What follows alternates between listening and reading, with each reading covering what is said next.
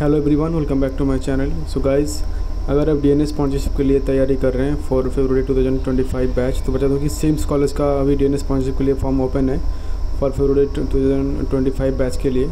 तो सिम्स मतलब समुद्रा इंस्टीट्यूट मेरिटाइम स्टडीज़ ठीक है, यहाँ पे एग्जीक्यूटिव शिपिंग मैनेजमेंट मतलब ईएसएम का यहाँ पे स्पॉन्सरशिप मिलता है ईएसएम कंपनी के साथ इस कॉलेज के टाइप किया हुआ है। तो जो भी इस कॉलेज में जिस स्टूडेंट को एडमिशन मिलता है, उनको ईएसएम में उनको स्पॉन्सरशिप मिल जाता है।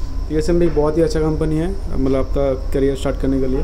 तो मेरे डिस्क्रिप्शन में जो लिंक दिया हुआ है इस सिम्स का तो आप जैसे उस पर क्लिक करेंगे तो आप डायरेक्टली पहुँचेंगे इस पेज पे। और बता दूँ कि पहले कि अगर आपको डी एन स्पॉन्सरशिप एजम का स्टडी मटेरियल चाहिए, आपका इंटरव्यू टेस्ट क्वेश्चन चाहिए सेकेंडरी टेस्ट क्वेश्चन चाहिए, देखिए चेक डिस्क्रिप्शन सेक्शन डिस्क्रिप्शन में आपको कुछ लिंक मिल जाएगा एंड उस लिंक से आप स्टडी मटेरियल ले सकते हैं। तो देखिए, आप जैसे ही इस पेज पे आएँगे, यहाँ पे पूरा, ये पूरा मेन आपका एप्लीकेशन फॉर्म का है, ठीक है? आपको पहले यहाँ पे आई एग्री पे क्लिक करना पड़ेगा। फिर ये सारा बॉक्स पे यहाँ पे टिक टिक करना पड़ेगा, ठीक है? फिर आपको यहाँ पे बैच सेलेक्ट करना पड़ेगा ऑटोमेटिकली बैच सेलेक्ट हो जाएगा डीएनएस करके, ठीक है?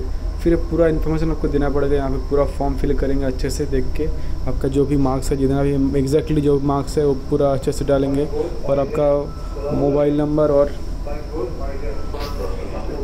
तो यहाँ पे आप सब कुछ इन्फॉर्मेशन पूरा प्रॉपर डाल के, अच्छे से फिल करके फिर लास्ट में उसको सबमिट करना पड़ेगा। यहाँ पर आपका पेमेंट का भी ऑप्शन हमको देना पड़ेगा यहाँ पे। का पेमेंट का भी ऑप्शन है यहाँ पे। ठीक है? तो कुछ फिर पेमेंट करके फिर लास्ट पर करना पड़ेगा सबमिट उसके बाद का जो प्रोसीजर है, आपकी ईमेल के थ्रू होगा, आपका सिलेक्शन एग्ज़ाम होगा इंटरव्यू होगा साइकोमेट्रिक टेस्ट होगा मेडिकल होगा। अगर आप सब कुछ क्लियर कर पाएँगे, फिर आपका सिलेक्शन हो जाएगा अगस्त। आपका फेबररी टू थाउज़ेंड बैच के लिए फॉर डीएनएस कोर्स तो आपके जो भी दोस्त या फिर आप अगर डीएनएस कोर्स के लिए वेट कर रहे हैं स्पॉन्सरशिप फॉर्म के लिए तो आप ये फॉर्म फिलअप कर लीजिए। एंड इवन डिस्टेंट का भी फॉर्म निकला हुआ है एंग्लो का भी फॉर्म निकलेगा अभी कुछ दिन में।